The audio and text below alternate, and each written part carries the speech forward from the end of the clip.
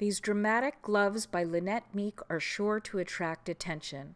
The long cabled cuff is worked back and forth on a garter stitch background from a seed stitch border with seed stitch edge bands that form a button placket.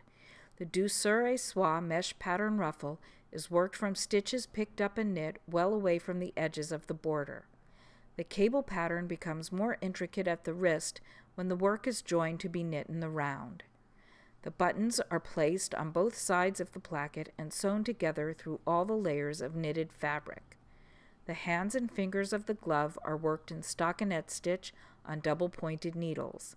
Knit One, Crochet Too, ambrosia keeps your fingers warm.